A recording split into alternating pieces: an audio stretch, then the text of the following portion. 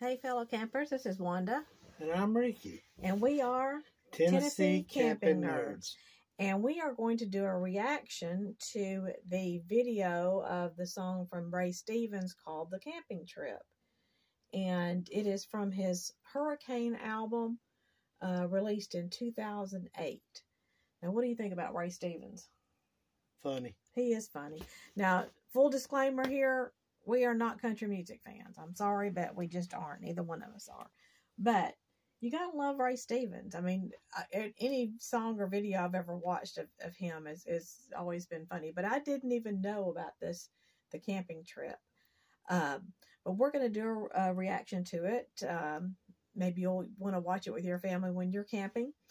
And um, I guess let's get to it. Let's do it. If if you if you enjoy this video though, be sure and uh, like it and um, be sure and subscribe to our channel and Leave uh, leave a message down, Down below. Let us know what you think about it. Also, if you know of any other camping movies or camping songs that you'd like for us to, to react to, or even any episodes of television shows that are about camping, that particular episode, let us know in the messages down below. We'll be glad to uh, react to them as well. Let's go ahead and watch this.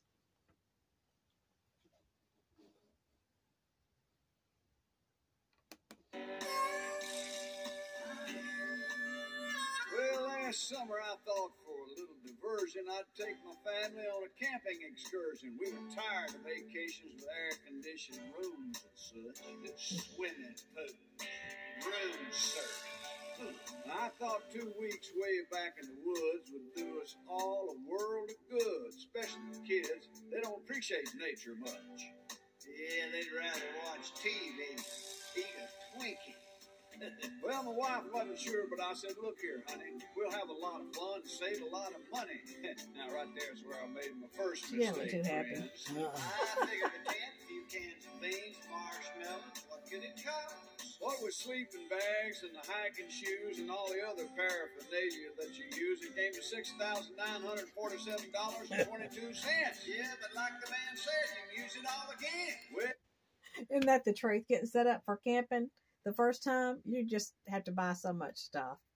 But it sounds like they're not going to be doing glamping like we do in our Yeah. motorhome.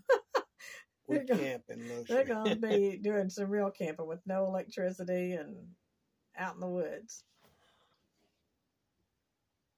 Yeah, we packed a new Land Rover with a maximum load and drove till we run plumb out of road and then backpacked six hours straight up a steep incline. Briars, brambles, and cockleburrs.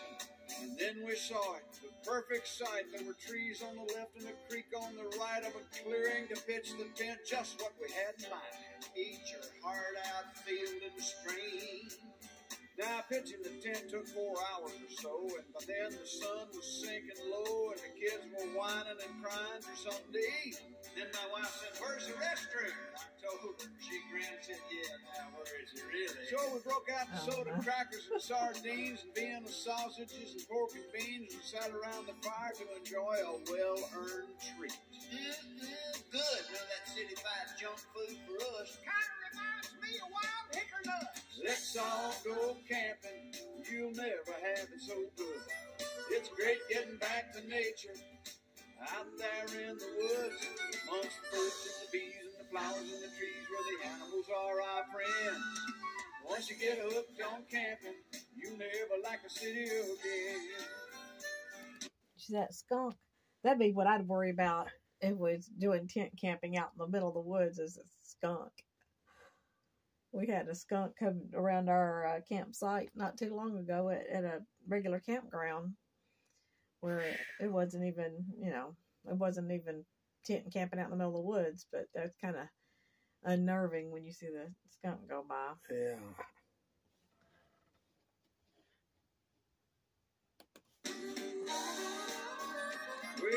Just weren't ready for what happened then when sparks from the campfire carried by the wind set a pile of leaves and two 89.95 sleeping bags Oh, goodness. Little Delbert was going for the marshmallows, thought it was part of the deal. Yeah, it spread from the bags and the leaves to the trees, raging out of control and fanned by the breeze. I thought all was lost and then thank God it started to rain.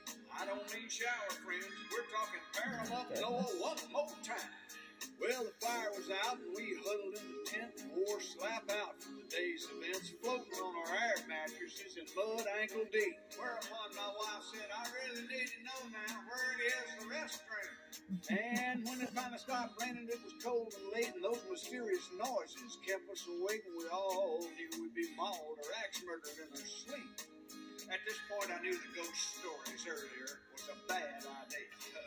I was dozing off just about to dream about a holiday inn when a blood-curdling scream announced the presence of something in the tent covered with hair. That's when I said, leap up there, son, and light the coal, and I think there's something in here with us. Well, we lit the lantern, and there he was, a little beady-eyed fuzzy looking at us, and we chased him out of the tent, head on into a bear. Yeah, he just finished off the groceries and was frothing at the mouth. I ain't talking no gentle Ben here, friends. he reared back on his haunches and let out a growl. We all turned white and let out a howl and went tearing through the woods in hysterics without a flashlight or a lamp. It's amazing what adrenaline will do. I mean, I was a track star in high school, but my chubby little wife just flat-footed past me Oh, with a child under each arm like I was taking a Sunday stroll. Yeah, never mind the restroom. Well, somehow we all made it to the car, and I had to crank it with a quick hot wire because I'd left the keys in my backpack back at the camp. Yeah, along with my shoes, wallet, Rolex, and six thousand nine hundred forty-seven dollars and cents worth of camping equipment. That dark, muddy trail, slipping and sliding like a bat out of hell till we drove through a stream we crossed on our way. Lord knows how we missed all them trees at 90 miles an hour sideways. Down the rain made it deeper than it was before, and the water started pouring in around the doors. We had to swim for shore never saw that Land Rover again. Yeah, just floated off. Last I saw was tail lights going over the falls. Oh, good. State Farm ain't gonna never believe it. Well, we finally stumbled into civilization, called a friend of mine from a Chevron station, and he drove out, picked us up, and took us all on home. Wet, cold, tired, talking to ourselves. They say take only pictures and leave only footprints. Well, we left eight sleeping bags, two Trail Master tents, a Coleman stove, four hundred dollars worth of groceries, a Land Rover, a Rolex, and every stitch of clothing that wife ever owned. Oh yeah, had to take it all with her. Main coat, makeup, electric curling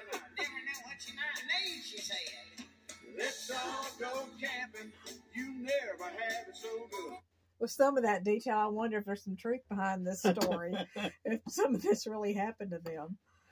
Oh my goodness! I will be sure to put a, a link in the comments uh, or in the in the uh, description section so you all can go straight to this video when you want to watch it. It's great getting back to nature. Out here in the woods, amongst the birds and the bees and the flowers and the trees where the animals are our on camping, you never like the city again. I'll tell you one thing, friend. Next summer we're going to Daytona Beach. For what this trip cost, we could have gone to Hawaii. Oh goodness! First Wow. class. I'm talking hula girls and them little pink fizzy drinks with a little parasol sticking out. I think all of our fellow campers probably have some friends who think that's what camping's all about, and why would they want to go camping with you?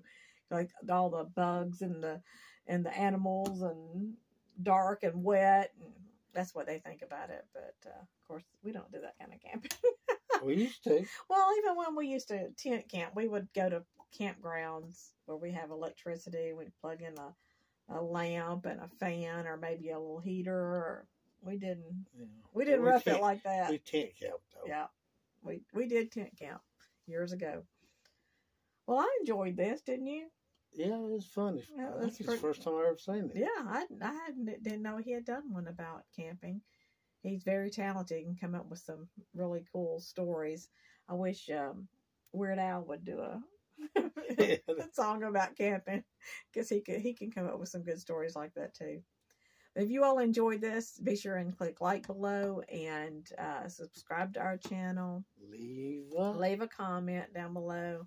Let us know. Like I said, if you if you know of a, a movie that's about camping, or a television uh, episode that's about camping, or another song or video that's about camping that you'd like for us to react to, uh, put it in the comments below, and we may just do um, your suggestion next.